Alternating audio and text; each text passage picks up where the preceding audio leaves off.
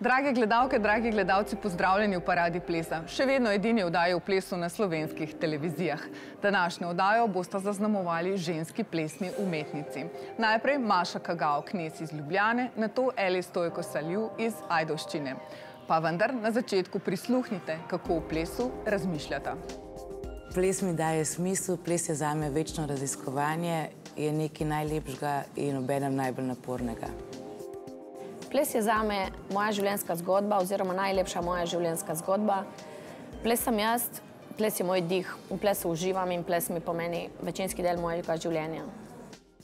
Že kliče me lep plesni pozdrav Maši Kagao Knes. Maša, pozdravljena. Živja. Ja, ples, lepo in naporno. Res Zakaj je. pa je potem sploh ples v tvojem življenju uh, našel svoje poslanstvo oziroma ti njegovo? Jaz sem eh, odraščala s plesom, obkrožena sem bila s plesom že zaradi dela svoje mame in enostavno si sploh ne predstavljam, kako je biti brez. Ne? Um, poklicno sem se kasneje odločila za ples, ampak ne vem, to mi je tako edino logično, sploh si ne predstavljam drugače. Kdaj je najlepše in kdaj je najtežje, Maša? Ja, najlepše je takrat, ko ti uspe, ko si nekaj zadaš, pa ti to uspe. Pa tudi meni je najlepše v samem procesu, ko raziskujem, ko iščem nekaj novega. O, ja, težko je pa vsak dan po malem, ne? ko se mučeš, ko telo v bistvu mogoče noče vsega narediti, kar si si zamislil. Um, z leti tudi opažaš razlike, ne? v glavi so velike in krasne koreografije, telo pa nekako mičken zaostaja. Nekako smo te spoznali z, Af z afriškim plesom in Maša, afriški ples, to je bilo enako. Vendar le ti si našla svoj plesni izraz, razširila si svoja plesna krila. Kam, Maša? Ja, jaz mislim, da, me, da me slovenski prostor pozna po afriških plesih, zaradi tega, ker sem takrat najbolj začela šele delati, ne, ko sem zaključila šolo v Parizu za afriške plese. Ampak jaz sem v bistvu prej delala že veliko sodobne tehnike, tako da in tudi nikoli me ni zanimal afriški ples kot neka, ne vem, um, nadaljevanje tradicije, ampak samo kot en, še en dodaten, neka dodatna inspiracija, dodatni gibalni materiali, ki so mi pomagali razvijati to, kar pač bi jaz poimenovala kar sam ples. Zame je dober plesalec, plesalec, ki pač obvlada ne, pač veščino se pravi, in obvlada telo in lahko izraz, ali to s piruetami, ali z premeti, ali z ne vem čem. Ni to bistveno, ni bistveno, kaj točno, bistveno je, kako, kako prej iz njega, koliko je res stoprocenten v tem. Ne. Plesalci, ki spoznajo nek tvoj stil, kaj pridobijo s tem? Za vsakega plesalca se mi zdi fajn, sploh ko se še razvija, da v bistvu dobiva različne vplive eh, in plesne in tudi um, sam način podajanja ne, znanja. Se mi zdi, da je to fajn, da dobiš eno širino in da s tem, da vsak, kjerkoli stil delaš, ti lahko oplemeni tvoj gib, pove, pač večji plesni vokabular dobiš. Ne? Um, in telo se mi zdi, da skozi to, da skozi nekaj, kar ti ni domače, da ga prisilaš, da se mora znaj, da se, da, da se začuti. Se mi zdi, da je to lahko samo dobro da, in da doda neko, neko dodana vrednost, neka izkušnja. Si pedagoginja, si koreografinja, si plesalka. Kako to vse kombiniraš? Oziroma je prišlo najprej, da si bila plesalka, pa koreografinja in pedagoginja, kakšen vrstni red ali je to neka simbioza? Zdaj bi lahko rekla, da je kar simbioza. Pa so pa obdobja, ne, recimo, ko sem se šolala, plesno mi je bilo učenje res odveč, ker sem pač, jaz sem bila tako nabrita, hotela sem vse sprobati z najboljšimi plesalci in potem, ko učiš, predvsem začetnike, to ni to. Ne? In sem rabila nekaj časa, da sem našla tudi uh, en način in v bistvu zdaj totalno uživam v učenju, ker, ker nekako z izkušnjami sem videla, kaj lahko dam, kako lahko pristopam, da jim pač čim več lahko dam. Uh, zdi pa se mi, da rabim vedno istočasno tudi ustvarjati, koreografirati in se splesati, ker se mi zdi, da eno brez drugega ne gre. Ne vem, meni men ne gre. Če ne plešem, težko koreografiram, ker nimam več te izkušnje, tako žive. Um, če samo učim, me mičkam tudi začne frustrirati.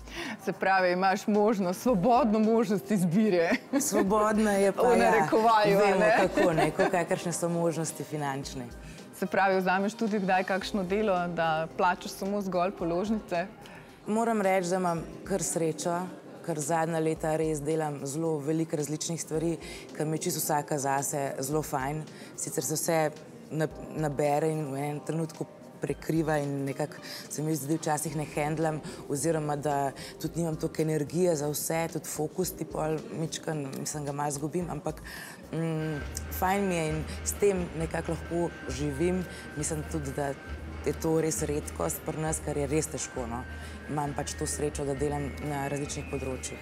Predvsej uh, si pa produktivna tudi na uh, produkciji, produktivna z celovečernimi predstavami. Popravi me, zdi se mi, da si na začetku nekako um, želela opraviti svojo preteklostjo s svojimi koreninami, pa mogoče opraviti v narekovaju, zdaj le pa se lotevaš tudi drugih idej, um, ni več toliko fokus tvoje, tvoje korenine. Ja, mogoče, nisem niti tako razmišljala, zato ker predstave tako nastanejo pač v nekem obdobju, glede na obdobje, na glede na situacijo in okoliščine, tako da um, in trenutno inspiracijo.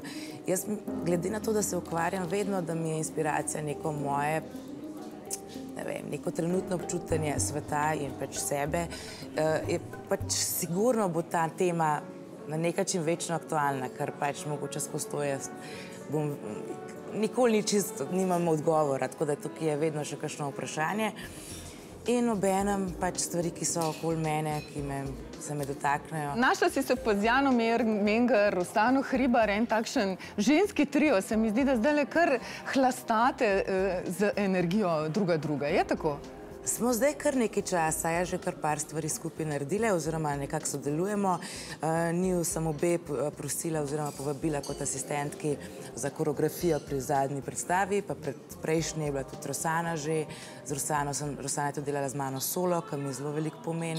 Še vedno, nažalost, ga nimam priložnosti veliko plesati, ampak um, mi je tak pomemben. Um, pomembna predstava. Trenutno delamo z Rosano um, Tobelijo, Uh, skupaj smo se lotili posvetitve pomladi, čeprav smo potem vsaka ne, svoj bil triptih no, nastal. Ampak ja, smo tukaj nekje, se srečujemo. Je drugačno delati z ženskimi energijami kot recimo z moškimi? Ja, vsekakor. Um, Meni zelo paše, no, da je mešana ekipa. Tudi um, pri mojih predstavah, eh, recimo, vedno vzamem tudi glasbenike, zadnje predstave so kar no, in uh, to mi da neko dodatno inspiracijo in uh, mi, pa, mi pa še mo, tudi moška energija. Društvo Baobab je živo, deluje. Um, kaj želiš pravzaprav sporočiti oziroma komu je društvo namenjeno? V bistvu društvo Baobab deluje zdaj že kar od leta 2009. Uh, jaz sem um, bila predsednica do 2014, potem pa sem predala v bistvu tako predsedništvo, pač zastopanje kot um, društvo Delandi Dialo, ki ga zdaj naprej vodi. Jaz sem pa z Andrejo Potočnik se odprli zavod Studio 25, kjer imamo, imamo svojo dvorano na Parmovi oziroma jo najemamo, kjer imamo redne tečaje, plesne um, in pač produkcijo predstav, kakor jih lahko imamo. Kdo se največkrat, uh, kdo največkrat obišče um, tvoje klase. So to izključno samo plesalci ali so to tudi, bom rekla, ljubiteljski plesalci ali samo državljani Slovenije? E, pri meni, na mojih konkretno klasih, moram reči, da so predvsem ljubitelji. Zelo redko kdaj pride plesalc na moj klas.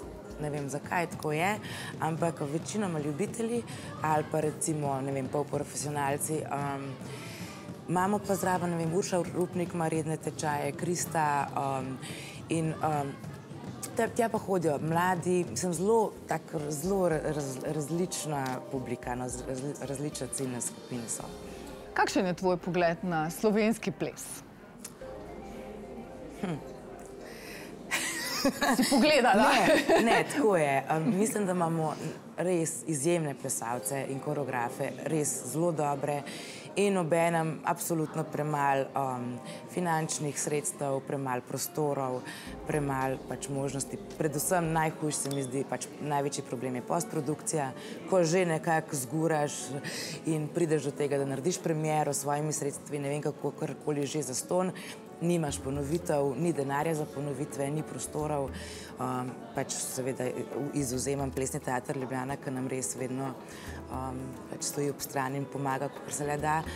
Um, ampak ja, ni najlažje. No? Pa tudi pač je mehna Slovenija, se pravi, tudi publike ni veliko. Um, zdi se mi, da manjka neka mogoče strani vem, države malo več, mm, ma- malo več pomoči. No. Tudi mogoče to, ker če smo mi zaprti v te naše kroge, en drugega gledamo, privabimo ljudi, kolikor jih pač lahko, ne, vedno stajamo tam nekje ob stran. Ne. Poleg akademije v Parizu pa si končala tudi akademijo za ples v Ljubljani. Ja. Eh, Se ti je zdelo pomembno, da imaš papir? Ja, zelo pomembno. Zdaj sem tudi uh, se upisala na AGRFT, na magisterij umetnost giba. Ja, to se mi zdi super, da ta možnost sploh obstaja, ker pač grozen, da do zdaj ni. No. In sem zelo vesela, da je zdaj spet Akademija za ples zalaufala. No. Kakšen pa je odnos eh, do tvoje mame oziroma kako komunicirate z mamo Jasno Knez? Sem veliko uh, v njenih predstavah kot majhna sodelovala, me kar na oder vrgla, uh, vključila v predstave, pa na zadnje, ki je imela 50-letnico v PTL-ju, smo skupaj delali. Um, mislim, da bi lahko še kdaj. Zelo veliko mi pomeni no, njeno mnenje, vsako predstavo, nekaj prija pogledati, me najbolj zanima, no, kako, bo, kako bo ona reagirala. Maša, prosila sem te, da prineseš nek predmet, ki bi te nekako zaznamoval, oziroma Ja. rekel, to pa je Maša. Maša, kaj skrivaš v desnem žepu? Kar je Maša, to sem najprej pomislila, da bi prinesla. Mislim, to bi bilo še najbolj realno, da prinesem džezvo, ker brez turške kave jaz se ne premaknem. Ampak nekako sem se pa spomnila še na tole škatlico. Um, tole je, sam je ne smeva odpreti. Ne smevajo Ne, ne odpreti. smeva odpreti, tudi jaz ne vem, kaj je noter. Okej. To sem pa dobila od moje zelo dobre prijateljice Urše, že več kot 20 let nazaj. Mi je dala enkrat za srečo, ne vem, ali je bil neki izpit ali audicija za Pariz, ne vem, kaj je bilo. Uh, za srečo. Um, in sem jo vedno nosila s sabo za kakšne take pomembne, mm, za kakšne pomembne trenutke. Uh, potem sem je pa enkrat razsula, vse skupaj ven padalo na cesti in jaz sem rekla, to pa zdaj, kaj pa zdaj, jaz zdaj ne in sem jo nesla nazaj, nekaj zdaj pa nazaj, eh, zgubila je moč ne. in od takrat je nisem odprla in ne vem, kaj je noter. Ne veš, tudi slutiš ne. Verjetno kakšni kamenčki, kaj tazga, uh, tako se sliši, ampak uh, se kar držim tega, čeprav načeloma nisem vreževedna, ampak tale škatlica, to, to pa res ne odprem. In zdaj sicer več ne nosim sabo, zato da se ne bi odprla. Uh, sem se odločila, da nadaljavo deluje in je doma v eni skrenici. Krasna zgodba. Maša, hvala, ker si si vzela čas za vdajo Parada plesa. Vse dobro ti želim. Hvala enako. To je bila Maša Kagao Knez, po glasih pa prihaja Eli Stojko Salju iz Ajdovščine.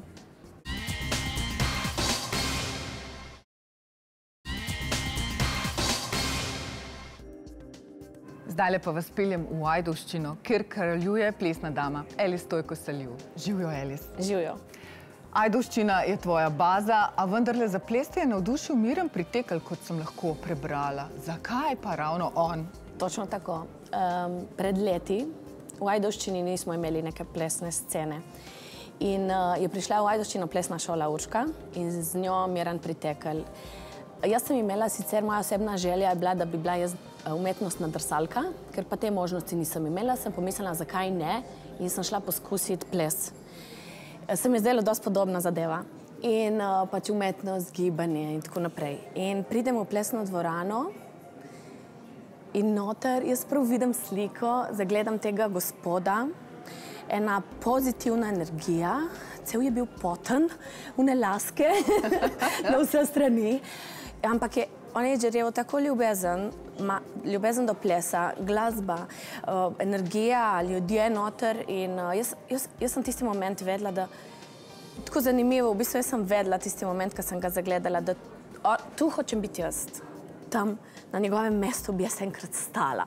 To bi jaz delala. Jaz sem se v trenutku zaljubila v ples, pač tudi umirana, ne? v njegov način dela in to me je pač fasciniralo. Zakaj si potem ustanovila ADC, oziroma kako je to zdaj Alice Dance Company, Ajdoščina Dance Company, kakšna je takšna daljša verzija imena? Ja, Alice Dance Company, prav zaradi tega, ker sem vedela, da sem to jaz. Jaz sem si to želela, to je bila moja življenjska želja, to je bil moj cilj, da jaz ustanovim plesni center.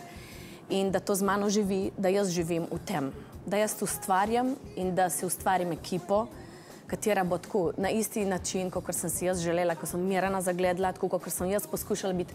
Mogoče niti ne, ja, ali pa ja, čim bolj njemu podobna, da sem delala na tak način. Uh, tako da jaz polagam to tudi mojim uh, dekletom, ki sem jih jaz učila in da jih vzgajam do tega, da tudi one zdaj že naprej učijo in da postanemo pač ena velika plesna ADC družina. Tako. Kakšno pozicijo ima tvoja skupina, tvoja šola v Ajdoščini in mogoče v slovenskem plesnem prostoru? Gotovo smo največja plesna šola v Ajdoščini in številčno, vključno z ekipo, koliko nas je, pa tudi plesalcev, koliko imamo, kaj vse ponujamo. Tudi v slovenski, na splošno v slovenski sceni mislim, da smo vedno bolj prepoznavni. Lahko se pač pohvalimo tudi z rezultati. Naš velik uspeh je Nina Ukmar, ona je pač trenutno aktualna državna prvakinja v hip-hop. Eh, članica in uh, smo zaradi tega prepoznavni. Drugače pa Ajdoščina je majhna in uh, v, v Ljubljani se vemo, ne? kako je s temi plesnimi šolami in uh, smo proti njim recimo majhni, ampak zaradi rezultatov ustrajnega dela in uh, vseh projektov, kar, si, kar se trudimo ustvarjati in jih ustvarjamo, mislim, da bomo vedno bolj prepoznavni oziroma da smo kar že. Omenila si hip-hop, a vendarle vi plešete vse, ne samo hip-hop. Kaj vse se dogaja v ADC-u? Ja, v bistvu tako je. Mi imamo uh, vse generacije. Pokrivamo res uh, s predšolskimi začnemo do naša najstarejša plesalka, mislim, da je 81 let oziroma zdaj pred kratkim je, je gostovala na enem plesnih vikendov in ima 83 eh, let. No. Tako da ja, eh, s tem se lahko pohvalimo. Um, v bistvu vse generacije in uh, predvsem jaz bom rekla šov. Ker jaz, ko sem pred leti začela učiti za plesno šolo Rebula, smo začeli z družabnimi plesi. Uh, ideja je bila, da bi jaz učila standardne in latinsko-ameriške plese, kar sem tudi sama plesala in tekmovala. Ampak takoj, ko smo razpisali tečaj, jaz sem jaz videla, da tukaj gre za bolj dekleta, ki se upišejo. In zdaj, ko sem, ko sem videla sliko, da bi to, da bojo dve deklici skupaj, da jih čim angliški valček, ča, ča, ča in te zadeve, se ne, ne sem dobila idejo, se rekla, da bi bilo fajn, da, da probam jaz kaj skupinskega. Tako da jaz sem bila popoln lajk. Jaz nisem imela Jaz edino, kar sem imela znanja raz, uh, o skupinskih plesih, so bile te uvodne, uvodne koreografije, ker nas je učil Miran Pritekelj, preden smo se odločili, da gremo v tekmovalne vode in uh, trenirati letin in standard. In to sem jaz kar iz sebe, nekaj malo muziko poslušala, malo ideje. Tudi nisem se neki takrat res ne izobraževala v tej smeri. Sploh sem poskušala nekaj iz sebe in nekaj ustvarila in odzev je bil vse dober. Pač starši navdušeni, ko smo nastopali, otroci so i tako uživali z mano. In, uh, ja, in tako, to so bili pač moji začetki. In uh, tako, uh, takrat sem se pa odločila, da se nekaj nazema pa pot, potrebna neka tudi podlaga. Ne, in sem se upisala pač in v Horton, in v hip-hop, in čim več seminarjev, workshopov in tega sem se udeleževala, da sem dobila tu tudi neko znanje. Ne. Cilj, motivacija, zakaj tekmovati? Odločili smo se za tekmovanje pred, uh, lansko leto, se mi zdi, uh, la, uh, pred lansko leto, ja, uh, za državno tekmovanje. Drugače se udeležujemo festivalov. Nismo tako številčni, zato ker pred leti, ko smo šli tekmovati na državno prvenstvo, nas je zaradi mase, smo tam občutek, no, ne vem, ko gledaš ostale skupine in ko so tu res velike plesne šole in velike številke, ko pride velika formacija, ljudi gor in tu nekaj izgleda, že ta prihod je energija, se postavijo in super. In pod kup pride plesni center, si, ne, sicer ne napovejo, ampak ok, mi pač pridemo gor in pride tako enih 12 do 15 plesalcev, ne. Tako se pa nismo odločili za tega. Ne, da bi čutili, da je pomankanje znanja ali pa karkoli, ampak prav res zaradi mase. Smo rekli, ok, ne gremo na državca, ne gremo, ker pole je pač tako razočaranje, če nisi nekje visoko uvrščen. Si pa tudi strastna zumba plesalka oziroma inštruktorica ja, zumbe. Me, zumba je ena taka vadba, je tako dobra muzika in ti slediš inštruktorju, ki ima ne vedno iste koreografije, ne? tudi tega se jaz res držim, da probam čim bolj pestro, da je čim bolj pestro, čim bolj pisano, da se to res čim bolj menjuje, da ni ta ena in ista slika, gremo in že vsi točno vejo, kaj je. Se pravi, da se oni preusmerijo na men, na moje korake, šibo je zdraven, muzika je dobra, vsi uživamo, se imamo fajn in ja, posledično pa tudi se oblikuje telo. Ne? Koliko ti kot kreatorica upoštevaš plesne trende v smislu in koreografije in v smislu vadb, koliko slediš? Ma, v bistvu je tako. Jaz uh, priznam, da res imam tako natrpan urnik, da um, trendom, jaz ja, sej brskam, je YouTube, hvala Bogu. Ma, zdaj, recimo, če bi rekla, kar hit, kar se recimo na televiziji ali karkoli vrti, to moram priznati, da skoraj jo ne užgem, ker enostavno nimam časa, res. Uh, drugače pa ja, seveda sem sled, mislim, sledim. Sploh prvo, kar je, je glasba. Ne? To je, moram slišati, sploh te hiti, pride uho, parkrat poslušam, mogoče tudi v avtu, na telefončku in, uh, in gremo. Ne? In to je to, in pol ideja in hop. Koliko pa dopuščaš, da ti plesalci sugerirajo, kaj bi radi plesali? Tudi to upoštevam, uh -huh. tudi to. Moram pa priznati, da je tako. Zdaj, mene, kar, je, kar inspirira, je sigurno glasba. Dosti težje mi je, če je kakšna pesanka mi je malo manj všeč.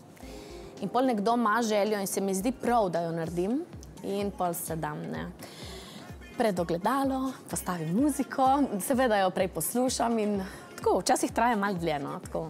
Tako da prvo, kar je, jaz moram muziko slišati, mi mora biti všeč in pole hitro steče, ne. Pa se pa zgodi in ideja. Doma imaš pa kar, v šali sem dejala na tvojem Facebooku, malo skupino, imaš namreč štiri otroke in tudi si se pošalila za 1. april, da pričakuješ petega in kar množica ti je kar verjela. Se mi zdi, da si ena taka prepoznavna oseba v Ajdovščini. Res, ker tudi, tako, jaz imam res štiri otroke in zdaj dve sta stari šest in sedem let. In zdaj te šest in sedem letnice imajo rade seveda družbo okrog sebe vse čas. Tako da jaz nimam nikoli samo štiri otroke, imam vedno več otrok okrog sebe. Ne. Tako po moje šest je tam minimum. In pa še pač plesne skupine in sem obkrožena z otroci. In tako, nekaterim je bilo kar, ja, ok, pač ok, še enega več. Za slovenske razmere si kar uh, imaš veliko otrok. Zakaj? Ja. Ah, to je bila, mislim, to je bila pa res moja želja. Jaz imam dva otroka, sicer posvojena. Uh, takrat sem pač to svojo življenjsko željo uresničila in uh, po letih in zaradi različnih izkušenj no, uh, sem se tudi odločila, da bi uh, imela pač tudi svoje otroke. In uh, no, štiri je v redu. Štiri je v redu. to je to, ja. Lahko bi sicer še razlagala, ampak štiri je ok. Najbrž bi bila vdaja prekratka, da bi Tako, vse ja. razložila. Ja. Elis, kaj počneš, kadar nisi v plesni dvorani ADC-a, si s štirimi svojimi otroci in kaj počnete? Ja, točno to. Um, Plešete? Ma, veste, da ja, se to, ne, ka mi kar plešemo, mi tudi doma, ne, to je non-stop glasba, to ali je ena ali je druga, zdaj ta velika dva sta že najstnika, tako da je že mal bolj ta, meni ljuba, ne, glasba, ne, da je že mal bolj ta pop, hip-hop in te zadeve. Uh, včasih moramo poslušati uh, v avtu, ko se nekam vozimo, tudi seveda uh, želje, upoštevati želje mojih mlajših, ne, tako da smo na, na kakšnih Kam se polotroških odpeljete? Ma, več ali manj je kar morje to, ne. Včasih gremo tudi v kakšne hribe, kam tako, ampak drugače morje, ne, to je to, ja. In potem je s teboj vedno tvoj mobitel. Mislila sem, da boš za tvoj predmet vendarle prinesla mogoče malo, ne vem, ajdovske burje ali kaj podobnega. Uh, zakaj mobitel? Ma, mobitel, res sem tako pomislila, um, sem rekla, kaj bi jaz vzela, kaj mene predstavlja in pa tako, kaj mene predstavlja.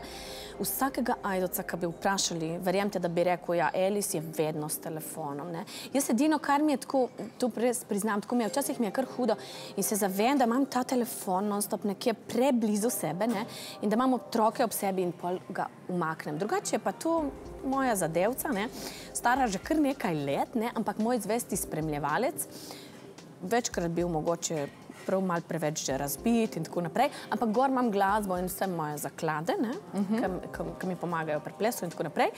Um, in uh, urnik, ne, in take Brez zadeve, urnika. ne, se veste, pole je mail in to, Komunikativna oseba. Čeprav Ja. tudi teli tvoji je- nohti bi lahko bili zaščitni znak, so nekaj Ja, ja. posebnega, Ja, ja, ja. tako malo kruela. Uh, Ma ni to kruela, nekaj, ne? ampak pač nohtki, to pa morajo biti. Morajo biti. Celo, ja, ja, ja, to so deklice, ki jih učim plesati, celo na, uh, eno pesmico sestavljene na te moje dolge Ja. ja. nohtke. Ima dolge nohtke, je fajn učiteljica, mi znamo za pet, ona nam da deset. Elis, hvala za desetko za intervju, Hvala. da si bila gostja vdaje Parada plesa in vse lepo. Hvala vam. To je bila Elis Stojko Salju, še prej Maša Kagao Knes. In to je bila Parada plesa. Še vedno edina vdaja o plesu na slovenskih televizijah. Plešite ponovno z nami tudi prihodnič, ker veste, da je dan s plesom odličen dan. Lep plesni živjo.